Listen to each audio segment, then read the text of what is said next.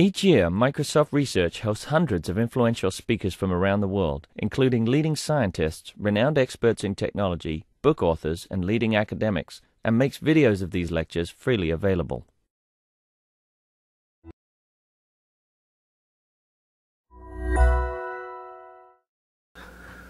All right, good afternoon, everyone. We're delighted to have Rick Kenyon here. I've heard uh, a short version of this talk before, and already based on that, uh, you're in for a treat.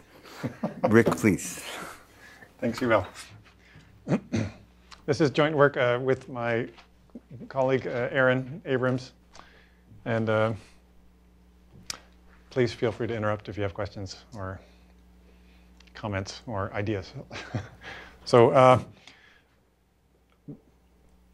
I, want to start with a, just a little story, sort of motivational story. if you have a, string of lights, right, uh, identical light bulbs, you, you hook, hook them up in series, and you put a battery across from one side to the other, then they'll all glow at the same rate, uh, at the same uh, brightness.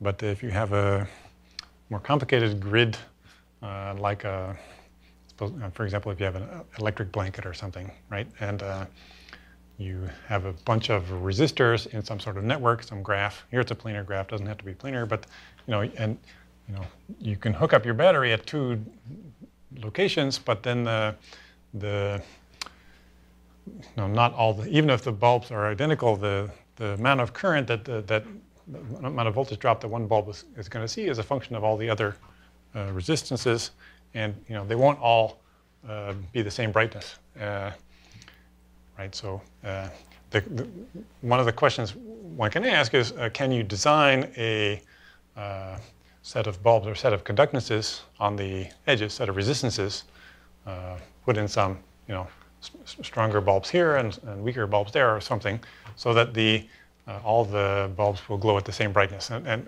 and by glowing at the same brightness, I mean the, the energy dissipated across each resistor is the same. Okay?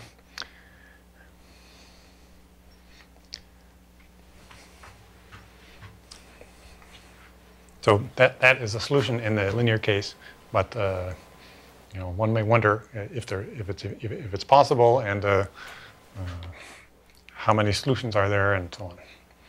So uh, this is, so to put this in a mathematical setting here, uh, uh, this, hopefully this is familiar to everybody. You know, stop me if, you, if it's not familiar, but I'm going to st start with the graph G, right, a set of vertices and edges. And on each edge, I'm going to have a positive real number called the conductance. Uh, and uh, I'm going to, there's a subset of the vertices B called the boundary vertices. And, and for most of the talk, it's just going to consist of two points, one at the top and one at the bottom, the boundary vertices. And uh, on the boundary, I have some function, let's call it u, some fixed function, fixed once and for all. And now we're looking for a function f on the rest of the graph, f uh, on, the, on the vertices, which uh, is harmonic. And, and harmonic means that the value at every point is the weighted average of the neighboring values. So weighted by the conductances on the edges. So if all the conductances are 1, you know, it's just going to be the, the actual average of the neighboring values. And I want, of course, the function on the boundary to be equal to u. So that's a classical uh, Dirichlet problem. Here's the, by the way, the underlying uh, equation for harmonicity is this uh, weighted Laplacian. So the Laplacian of the, of the function f that we're, we're looking for is, is the sum of the f of x minus f of y. So you look at all neighbors. For each x, you look at the neighbor's y of x, and you multiply f of x minus f of y times the conductance there. And you want that to be equal to 0 at every internal vertex x. All right. And uh, standard fact is that the, you know, the, there's a unique harmonic function with those boundary values, and it's given by, it's, it's the function which minimizes the so-called Dirichlet energy. And the Dirichlet energy is, by, by definition, the sum over all the edges of the graph, the conductance times the difference of the function on the two vertices. Right? So for every, for every edge, uh, you look at the difference of the function, you square it, multiply by the conductance, and you sum that up over all the edges, you get the Dirichlet energy. And we're going to call this quantity the edge energy, uh, the thing you're summing up. And uh, so one more ingredient uh, we need to discuss is the uh, so-called orient uh, orientation of the edges. Whenever you have a harmonic function on a graph, there's an induced current flow. In fact, if you think about the, the you know, the, the current in the, in the light bulb example, right, the current is flowing from higher voltage to lower voltage. So uh, on every edge, there's an orientation which tells you which direction the current is flowing. You know, if, if I put voltage 1 here and 0 there, and I let, let the thing relax to the equilibrium state, then the current will flow. This will be a source of current, this will be a sink of current, and then uh, at the intermediate uh, vertices, well, there won't be any sources and sinks in, in, the, in the graph because the current has to be, there's no loss of current in the interior, right? So uh, each interior vertex has to have some incoming and some outgoing arrows. Okay, well, there may be some edges which have no current, but uh, uh, at least if you choose sort of generic conductances, then they're, they're, that won't happen. I mean, zero, having zero current is sort of a non-generic situation. All right, so that, that's uh, an orientation of the edges. It's an acyclic orientation, meaning that, you know, it goes downhill, down, down potential. And uh, we're going to be interested in this set of acyclic orientations which could potentially arise from these boundary values. So remember, we have a fixed set of boundary vertices and a fixed uh, function u on the boundary. Uh, and uh, given that data, there's a certain set of acyclic orientations which can happen.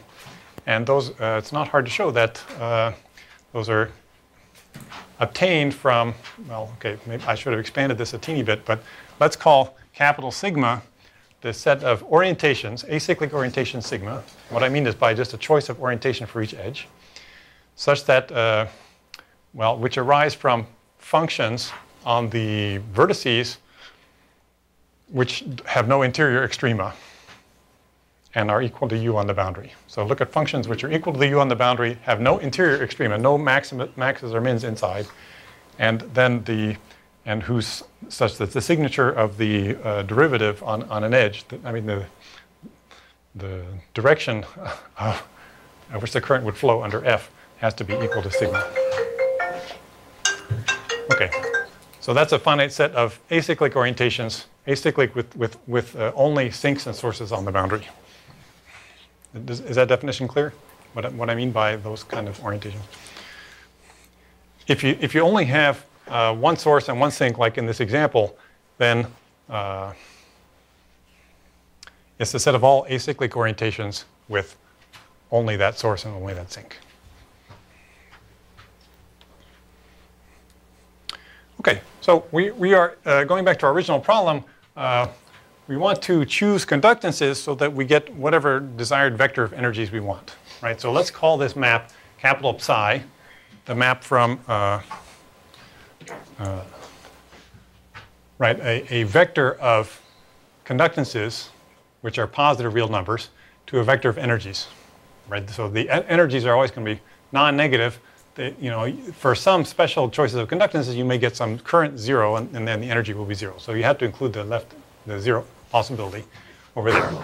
And just by way of example, right, here's the simplest uh, non-trivial graph you might consider, right? It's got two boundary vertices, V0 and V1, and you know, we're just going to put uh, U is going to be 1 here and 0 there. So think of the current as, think of this circuit as being hooked up to a 1 volt battery across those two uh, vertices. And uh, let's call A through E are the five conductances right? And then you can write down an equation for the energies as a function of those five variables, A through E, the five conductances. And, you know, it's a little bit complicated, uh, but there it is. Right, that's the energy on edge one, energy on edge two, and so on, energy up to energy five. And, you know, how do you invert this equation, right? Now if I give you a set of energies, can you solve this for A1 through A, uh, I mean, A through E? That's the question. It's just an algebraic, algebra question now, uh, right? Invert this mapping. And you know, I did it, I just, just you know, for illustration, I did it in this particular case. It's not actually so easy, right? I wouldn't want to do this by hand, but the computer could handle this, this example. And uh, I just, uh, if you look at this equation here, this, so there's, I took five energies, e, little e1 through e5, and I solved for a. So the, this is an equation, uh, what's a polynomial in square root of a, quadratic polynomial in square root of a, uh, which determines a as a function of the five energies. And, uh, well, it turns out There's some homogeneity, right? So if you scale everything up, we should. that's right. If you, stay, if you scale all the conductances by a constant, then uh, uh, So you get the same energy. you get the same energy scaled also by the constant squared. So, uh, well, by the same constant, in fact. So, uh, yeah, so there's one, one fewer parameter than is apparent. then look, but nonetheless, uh, uh, it, this is kind of interesting. If you, if you, if you stare at this equation a, a little bit, for, well, for one thing, it's, it's not completely obvious, but there are two roots. It's a quadratic equation. You know, if there's one root, then there's going to be another root. Uh, uh, both roots are positive, right? Because you can tell that these are the, you know, the constant and the quadratic coefficient are, are positive numbers, right? So in fact, there, there are two solutions to A. And in fact, uh, if you invert this for any set of energies, there are exactly two solutions, which also happens to be the number of uh, acyclic orientations of this graph. You know, if I look at an acyclic orientation, which is which has a source here and a sink there, then there's two possibilities, right? The, the center guy can be direct. I mean, these A and B have to be down, D and E have to be down. C can go either way. So it's not really surprising that there are two solutions here, but uh, there are.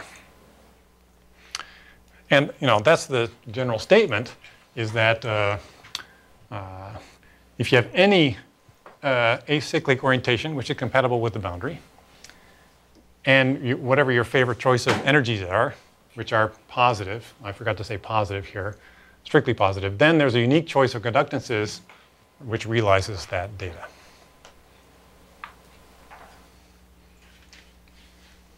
Okay, there's a unique choice of conductances for which the associated harmonic function realizes this data.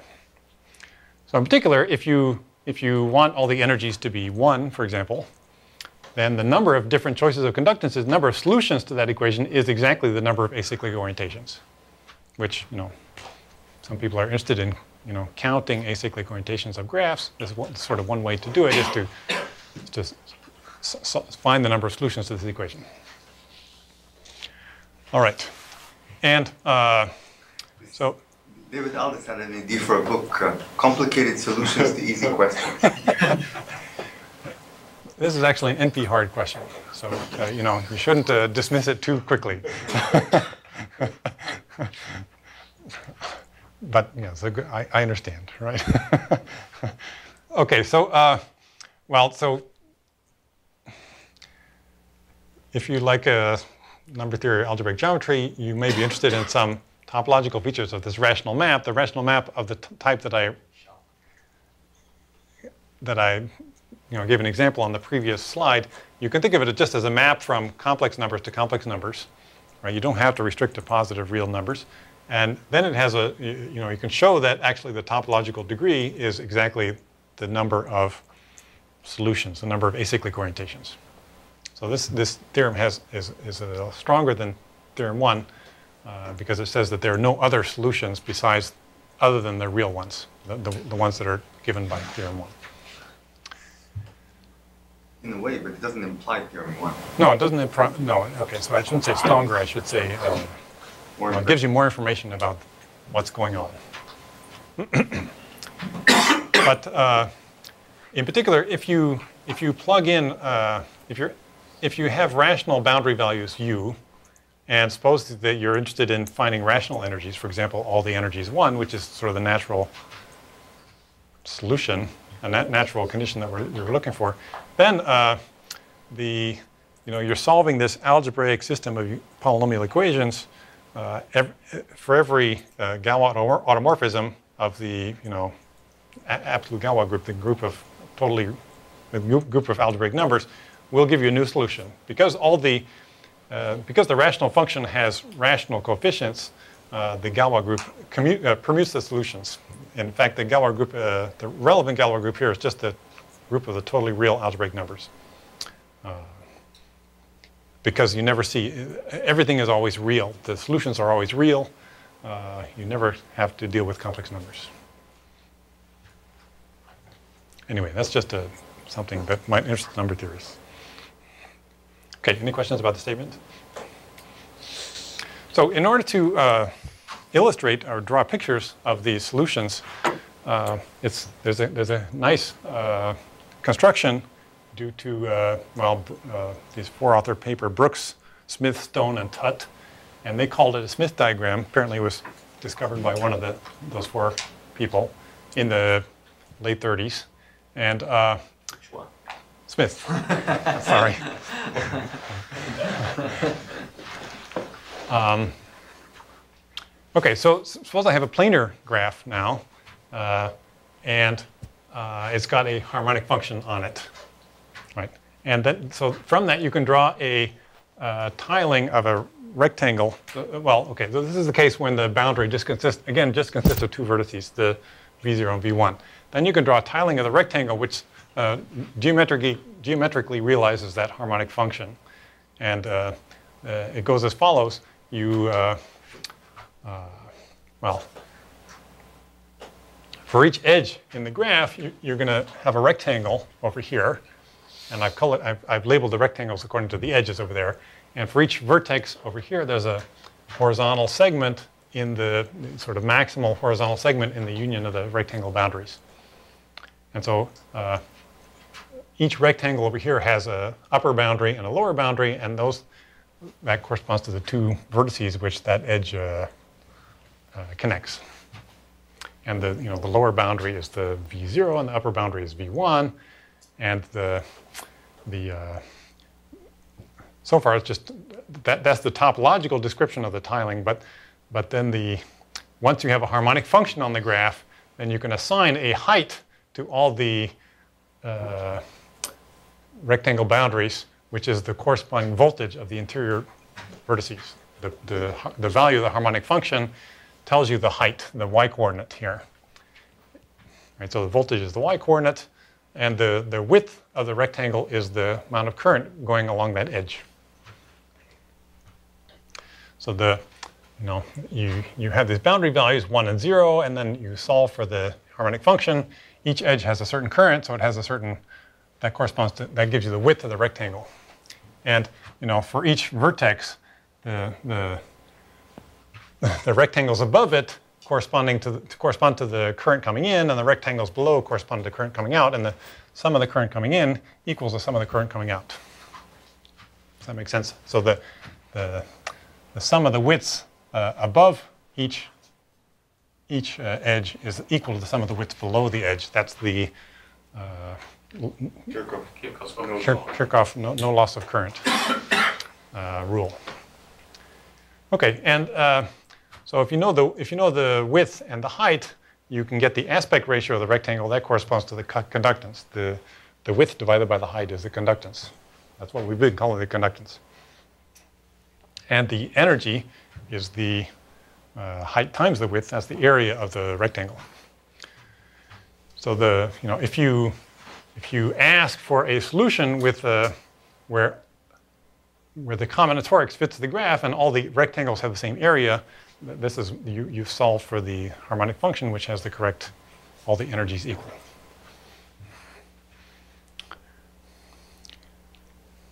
Okay. Is that clear? Is that how many people know this construction already? Half of you. Okay, and of course you can read off the orientation from the from the tiling because you know uh, you know for each vertex you know which which vertices are above it and which are below it. Okay, so now we can uh, just play the game. Uh, here's a here's a particular graph. It's sort of my running example. It's got uh, happens to have 12 acyclic orientations, and for each orientation, the theorem says there is a because it's a planar graph, there is a tiling of a rectangle with all the rectangles of area one. That's that, and that's one of them. So it's kind of a cute way to relate the energy fixed energy problem to the uh, area area one rectangulation problem. And um, what you see in this example is that well, okay, so uh, it's it's significantly more complicated to solve this system in this case. And uh, you know, if you look at the width of the first rectangle there, the amount of the amount of current going along that first edge, it's the root of some nasty, uh, quite large polynomial, which you know Mathematica spit out for me. Uh, and you know, uh, I didn't spend much time uh, thinking about this, but each of these coefficients here uh, has some combinatorial meaning, some mysterious combinatorial meaning. Uh, uh, is the each of these coefficients is a positive polynomial in the energies. Here, the, all the energies are one, so that comes out to be an integer. But if I had written it out uh, as a, with 12 variable energies, E1 through E12, then you would see this is a that, that this coefficient is a positive polynomial uh, in all those things with, you know, with integer coefficients. With integer coefficients, yeah. And so, so there, there is some interesting combinatorial meaning, which uh, I wish I, but I don't know what it is. I mean, you kind of saw that in the in the previous example here, right? Each of these coefficients is has all the coefficients. All the coefficients are integers, and they're all all with the same sign. The signs alternate. But uh, Okay, and as I said, in this case, there are 12 orientations, right? So there are 12 uh, uh, rectangulations, all sort of combinatorially equivalent to each other. But uh, you know, if you go back to this to this polynomial, this polynomial has 12 real roots, and the one of those roots is the width of this of this tile, and the other 11 roots are the widths of the tile labeled number tile number one in the, in, in the other 12 tilings. Because the, you know, the Galois group permutes the roots of that polynomial, it permutes the, the tilings as well, and it will move one of these tilings to some other tiling. I mean, it permutes these 12 objects. Always taking, you know, uh, if you look at all the widths of tile one, there's 12 widths, and they, they together form the roots of that polynomial. It's kind of a, kind of a cute uh, very intriguing number theory uh, connection. I don't know if that this is a useful observation or not, but and yeah. Well, how many acyclic orientations does a graph have? Uh, uh I mean, what is the size of this thing? Uh, this number of compatible acyclic orientations of a graph. And well, uh, so this is something that people have studied, uh, and it's uh, in the if we we can add an edge between v0 and v1 if there's not one already. It doesn't really affect anything about the problem. Uh, uh then the this number, the number of acyclic orientations compatible with these two boundary vertices, is called the chromatic invariant of the graph. It's some you know reasonably well studied uh, uh, graph invariant. Uh, it's the you know, derivative at 1 of the chromatic polynomial if you, if you happen to know what the chromatic polynomial is. Or if you know what the Tutte polynomial is, it's the derivative at 0, the x derivative at 0. Uh, but in particular, it's an NP-hard thing to compute. But, you know, the, yeah, in fact, you know, when I, when I, I just took this graph somewhat randomly, I plugged it into the Mathematica, I, I, it spit out this degree 12 equation, and I knew at that point that there were 12 solutions. So it, it, somehow it counted the number of solutions. It computed the number of solutions to this NP-hard problem uh, by some mysterious means, right? But let me uh, let's move on. So, so, there was this theorem that, that the, the, main theorem says that you know for every acyclic orientation and uh, set of energies there is a solution. So, and the, the, proof really just fits on one slide here. Uh, we're looking for a harmonic function, right? Here's the Laplacian. Um, but, uh, you know, we're not giving the conductances. The conductances are, are, are, unknowns, but we can rewrite uh, this CE times dH as E over dH because the energy, the energy, remember, is the conductance times the dH squared. And so uh, instead of looking at our standard uh, harmonic equation here, right, we can rewrite the equation like this because the energies are what we were given. So now we have, now our, our, unknown our unknowns become the, the values of the harmonic function. So we have to solve this new equation, 0 equals, uh, well, it's a system of equations, right? One for each vertex x. You sum over the neighbors of x, h of x minus h of y inverse times the energy. So we call this the n harmonic equation, uh, which is short for energy harmonic because we're given the energies rather than the conductances. And uh, well, how do you solve this equation? Now it's a, it's a non-linear, right? We have to, you know, unfortunately it's no, no, no longer linear, but uh, it still has a, some nice properties. And one of, the, one of which is that the solutions are critical points of a certain functional.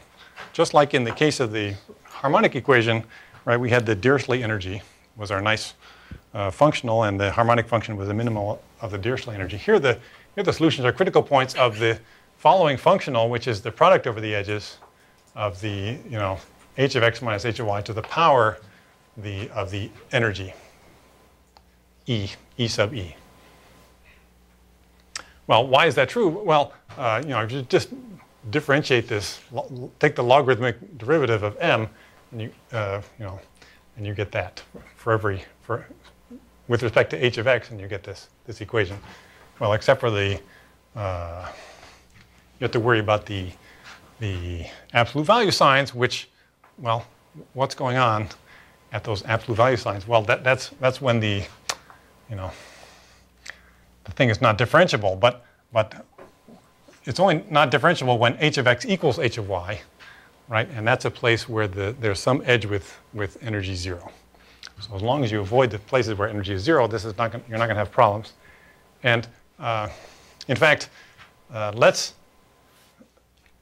we can uh, restrict ourselves to a certain set of functions h. Let's restrict ourselves to the set of functions h uh, which have the correct orientation on each edge. Right? Remember, we have uh, some, some boundary conditions, and uh, if we fix the orientation ahead of time, we're looking for a, a, a, solution which has this particular orientation. So we only need to consider functions h such that the value here and the value here, this one is bigger than that one. So that essentially determines for each absolute value sign which, which, which one is bigger, h of x or h of y. But that's, and, and it's also a polytope. It's a polytope of the set of functions with a fixed uh, signature, I mean, fixed difference on, along each edge. And on that polytope, this function is in fact strictly concave because it's, well, if you take the logarithm, it's a sum of log of h of x minus y. Log is a concave function. It's the sum of concave functions, so it's concave. And because it's, well, strictly concave, and on this polytope, and on the boundary of that polytope, it goes to minus infinity because, uh, you know, the log of zero is minus infinity when you get to the, when you, when you tend toward the boundary. So I guess the, the relevant picture, the relevant picture here is that you look at the space of all possible functions h, it's, it's divided up into these uh, polytopes like that. And uh, on each polytope, the, the function is strictly concave and therefore has a unique, it goes to minus infinity on the boundaries, and therefore it has a unique maximum. One inside each, one for each polytope. Okay? So that gives you, for every orientation, that is for every polytope, a unique maxima, maximizer. Okay, and I just want to highlight this, this equation. This is going to be the most important equation here, the inharmonic equation. Okay, well, okay, so theorem two is not, not also very short. Uh, if, if you recall, theorem two says essentially that there are no complex solutions. All the solutions are real. Um, how do we see that? Uh, well, here's the equation we're trying to satisfy. The energies are positive real numbers. We're just trying to show that any solution to this equation uh, has h real. And there's a well-known theorem, the Gauss-Lucas theorem, says that if you have any polynomial p, the roots of the derivative of p are contained in the convex hull of the roots of p itself. Uh, anyway, some classical theorem. I, the proof is like one line. It's on the next slide. So once you accept this theorem, uh, then you can see that uh, if h satisfies this, then h, h of x is a root of p prime of z, where p of z is this uh, polynomial here. You take z minus the h of y, where h of y runs over the neighbors of x. Think of that as a function of z. It's a well, it's, it's almost a polynomial, except these may be you know real numbers, but looks kind of like a polynomial, generalized polynomial. And uh, right, if you just differentiate p logarithmically, you get that equation for h of x. So that implies uh, that by the Gauss-Lucas theorem that h of x has to be in the convex hull of the neighboring values, the h of y's. So on my graph, you know, for every point, the, the value of h at any point is, is inside the convex hull of the, the boundary value, its neighboring values. But all the boundary values are, are real numbers, and therefore everything has to be real. Right? If, if, if anybody had a positive imaginary part, for example, then you could find a neighbor which had at least as large imaginary part and so on. Essentially the maximum principle. Okay. Is there a clock here? Does anybody want to see the proof of Gauss-Lucas theorem? somebody showed this to me. I was not. Was this somebody in my in this room? Was it you at Yale? No. no? okay. Anyway, you can find it on Wikipedia. It's just one line. Uh, here's here's my enharmonic equation. I just took the complex conjugate, right? But it's the same because you know, because the energies are real. Uh, it's also true, right? Conjugate of 0, is 0. But then I multiply the numerator and denominator by h of x minus h of y. Right? So the denominator now becomes real. This is real. And h of x minus h of y, those may be complex. But uh, then you put the h of x on the other side, and then it has a real coefficient here. And so what you see is that h of x is a convex combination of the h of y's. Right? The, this, this sum is equal to that sum without those guys. So the h of x is a convex combination of the h of y's, and therefore it's in the convex hull. Okay, uh, that's pretty cute and very easy. Uh, all right, uh, let's see, maybe I'll skip this guy. Uh, well, okay, we can. I already gave you an example. But um, the nice thing about this uh, variational principle, this maximization uh, scheme, is that it's very easy to construct explicit examples. Now, so what I did here is I took a, a grid, a 40 by 40 square grid, right? I, I turned it uh, 45 degrees, and then, you know, I don't know why, but I, I, took one source here and one sink there. So you think of this as a, a, a very dense 40 by 40 grid, and I oriented all the arrows, uh, you know, south and west what used to be south and west. And then given that orientation, you can ask, well, it, how do I find conductances so that all the energies are one? Or in other words, how can I find a tiling of a rectangle uh, which has the combinatorics of the square grid such that all the rectangles have area one, and well, there it is. It's a unique solution once you fix the orientation, right? Uh, you know, it's, it, it, it, it's just a few seconds on your computer to, to maximize this thing. Uh, but, uh, yeah. What, what can you say about this? I mean, there's there are lots of questions if you like geometry. Now, uh, you know, is this sort of converging to some interesting mapping? So this, this is really, uh, you can think of this as some sort of mapping from the diamond shape to the square which, right, which, you know, the top vertex sort of goes to the top boundary, but, uh, you know, it's sort of continuous inside each, each little unit of area here goes to some unit of area in the square. It's an area preserving mapping, uh, but, you know, I don't actually know what mapping that is. It converges to. Uh, be, it would be kind of interesting to find out. but you know, you can play you can play around with these things because it's very easy to uh, uh, do local deformations, right? Uh, here, here I just imposed a, a row shape on that previous fixture, and then I, I, I suppose, you're, suppose you're interested in some, you know, property of that picture near some location, you can just re, re uh, uh, solve for the solve for the tiling, which which increases the area of some, rectang some rectangles near the area near the region of interest. Right. That's what I did here. Is I I just blew up the areas of some of those rectangles according to some, you know, and and so this part of the picture blows up. The rest of the picture gets a little bit smaller. Uh, but it's a it's a interesting sort of uh, deformation, uh, which is you know not conformal, which is that's why it's I think it's kind of interesting and novel, right? Okay, and yeah, you can here I'm just playing around with these things.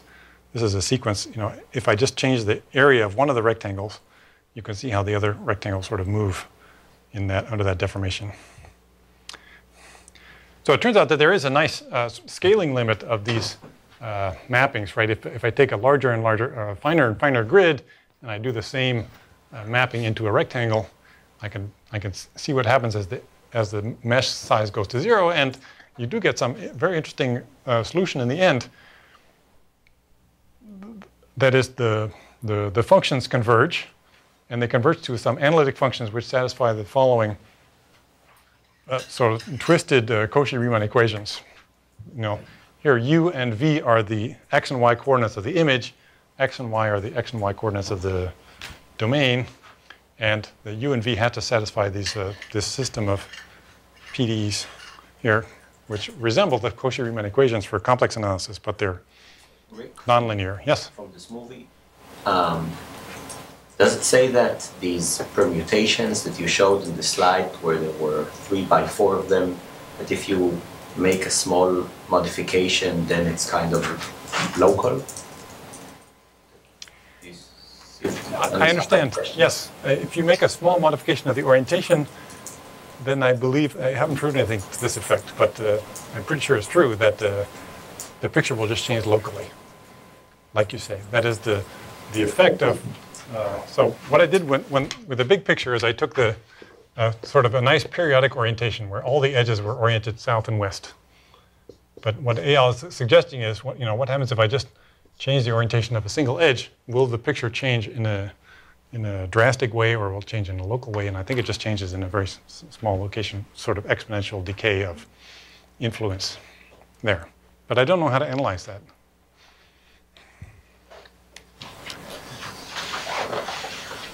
So yeah, the, so the, the usual Cauchy-Riemann equations are over here. There's some nice linear things. Here I got the, that's the constant conductance Laplacian, or you know, analytic functions. Here's, here's the Cauchy-Riemann equations in the constant energy case. You know, they, they, they do resemble it, but you know, here the associated Laplacian is our, our friendly Laplacian. Here the, there is a Laplacian mm, nonlinear, I don't know what to call that guy. If you have some good terminology for these things, I'd, be, I'd appreciate it. We called it the n-harmonic uh, Laplacian, but uh, I don't know if that's any good either.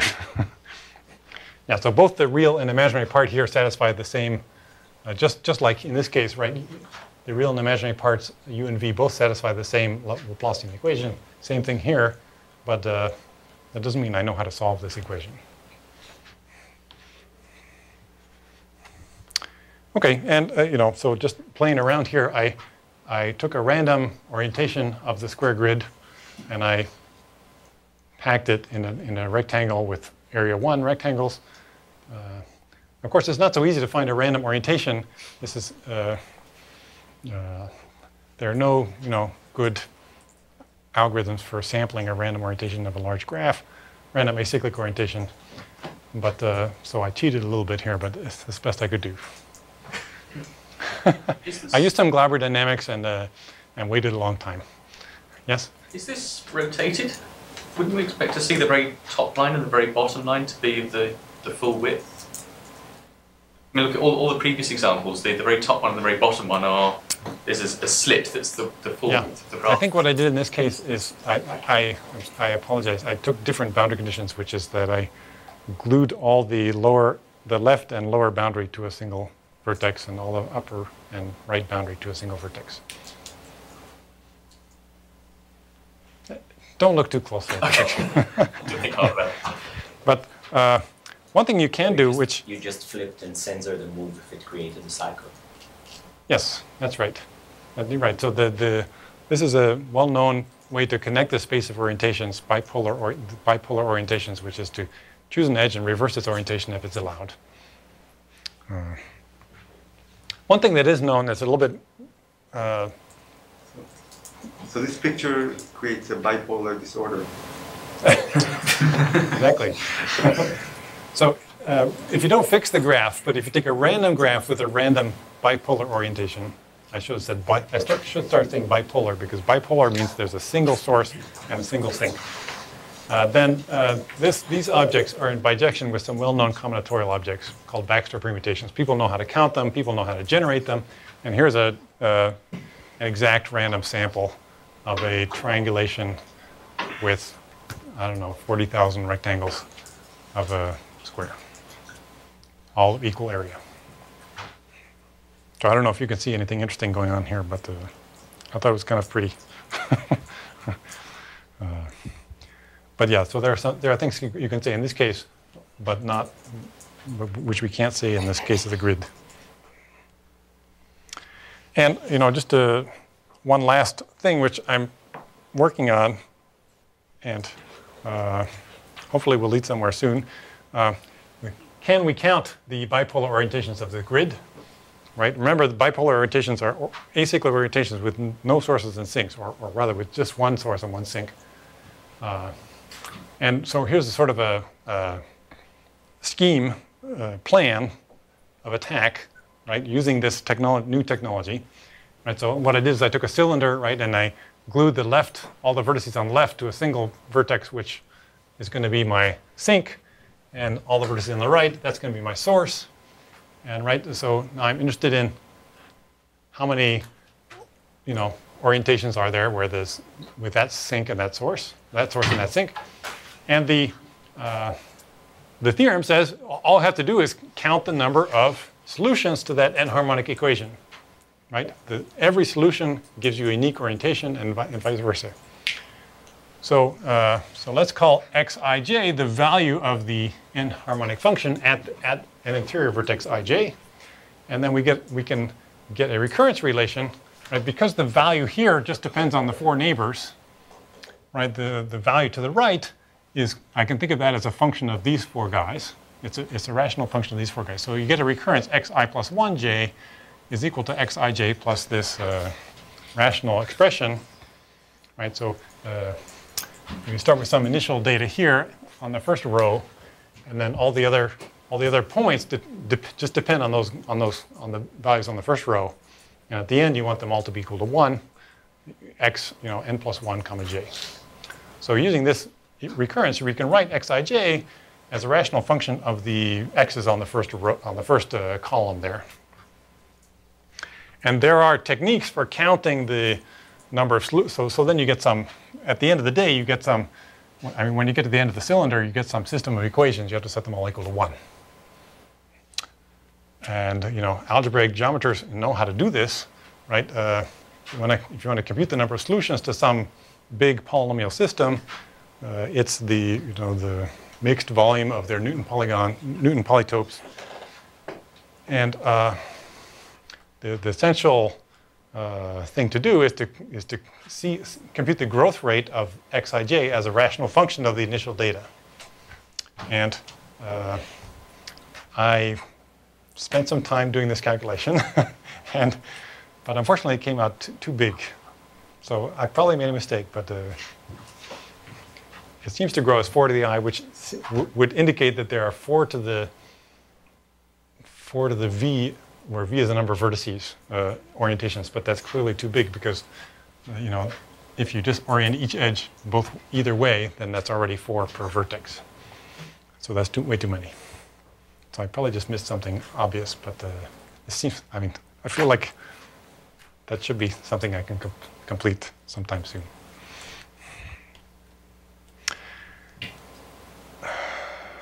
Okay, well, unless people have questions, I have just one last uh, open, interesting open uh, generalization, not, not generalization, but uh, related problem, which is uh, about triangles, right? Since we, since we dealt with uh, uh, rectangulations with area one rectangles, you can ask, is there a analogous result for triangulations? Um, in fact, this, the reason I mentioned this is because this was actually our motivating problem, right? Aaron asked me this question about triangles, which is sort of an old problem, and I suggested that we look at rectangulations because they're often easier. Um, but so, so, right? For example, if I take this triangulation of rectangle, can, there, there are seven triangles. Can I assign the areas arbitrarily?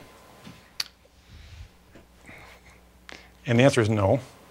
Uh, uh, and, uh, well, I'm not going to tell you why the answer is no, but uh, here's a related question, uh, sort of well known among people who know it well the, the theorem of Monsky, which says that there, um, you can't dissect a square into an odd number of equal area triangles.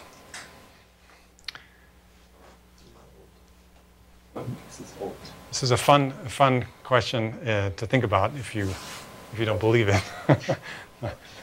and the, the reason it's so mysterious is that the, the proof uses the axiom of choice. This is what? Axiom of choice. What? Axiom of choice. The proof uses the axiom of choice. Axiom of choice. Axiom of choice. yeah. But, uh, right, so for example, here's a triangulation with nine triangles, right?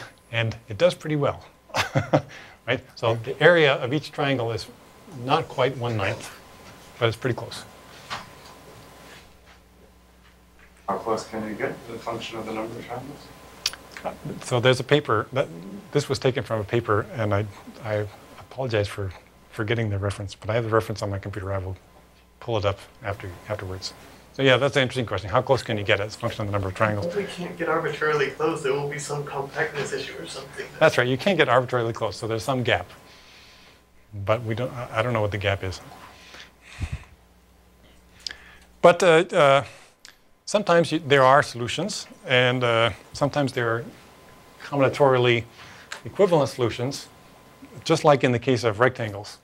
Uh, so here's two triangles which, which, know, if you define the combinatorics pro- appropriately, they are combinatorially equivalent. Right? Each, I tried to label them so you could kind of see what's going on. Uh, basically, what you have to do is, is uh, so you see this, this edge, this edge here, which is adjacent to triangles 4, 6, and 7. There's an edge over here which is adjacent to triangles 4, 6, and 7 too. But the, you know, you should think of this black edge as some sort of degenerate triangle, right? It's got three, three vertices on it, and they, they sort of. This is also a triangle with three vertices on it. So that, there, there's some sense of how these are combinatorially equivalent, and sometimes you can get two solutions, sometimes you get many solutions, but the number of solutions, unlike the case of rectangulations, the number of solutions is not always constant. Sometimes there are complex solutions, sometimes there are no solutions. So, uh, so this is this is still we still don't really know anything about this problem, but uh, there is a nice uh, analog of the harmonic function. Uh, square, the relation between the, the network and the, and the tiling. And here, instead of uh, talking about a symmetric Markov chain, we, we do an asymmetric Markov chain. So the so you have a you still have a, gra- a planar graph. Uh, each each edge has a in this case it's a mark. Think of it as a Markov chain rather than a resistor network, but it's uh, other than that it's roughly it's, it's fairly equivalent. Let's let's have two outgoing outgoing arrows from each vertex, except for the top and the bottom. And uh, well, okay, I don't know if I need to go. one and the red one. What? And the green one and the red one. Oh, sorry, just. What about the green one and the red one? Oh, no, sorry, two out. Okay. Two out. Number of n is not specified.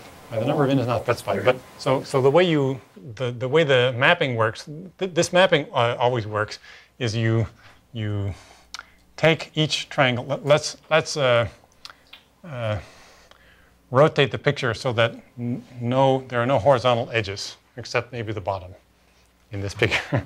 okay, so just take a sort of generic rotation so there are no horizontal edges. Then each triangle has three vertices, you know, a top one, a bottom one, and a middle one. And from the middle one, you draw this uh, dotted line. And so each for each triangle there, there's a vertex over here. And the the you can think of the the top part of the triangle as as having an outgoing arrow to the upper and an outgoing arrow to the lower one. So the green triangle, which, which corresponds to the green vertex, connects to the purple one and to the bottom, like here. And then there's a way to assign, uh, you know, transition probabilities to the edges. Let's see, it should be down here. Uh, well, so, so every geometric concept over here corresponds to some probabilistic concept in this, in this uh, network. Uh, the y coordinate, the y coordinate over there is a harmonic function. Harmonic function is one which is, you know, the value at a point is the average of the weighted average of the neighbors. The uh, the here, you know, each each edge has a slope, and the slope corresponds to the the winding number of a, a random walk. You take a very long random walk where you add an edge from the top to the bottom, and you, you ask for the expected winding number around a face, and that, that gives you the slope over there, and so on. The areas are the energy. So, so there's this kind of nice, nice uh, ejection, just like in the previous case, and, and one hope is that we can use somehow use this bijection to to say something interesting about the existence of uh, or non-existence of uh, fixed area uh, triangulations in that case, but hasn't been done yet. So I'm going to stop here. Thank you.